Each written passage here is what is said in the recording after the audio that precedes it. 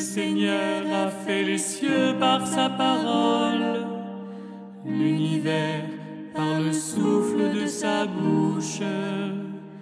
Il parla et ce qu'il dit exista.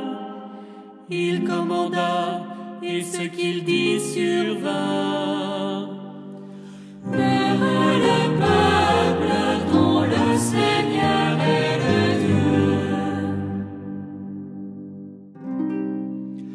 Dieu. Veille sur ceux qui le craignent, qui mettent leur espoir en son amour, pour les délivrer de la mort, les garder en vie au jour de famine.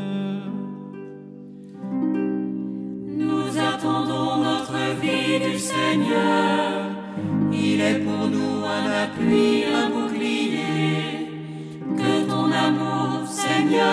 Sur nous, comme notre espoir est en toi.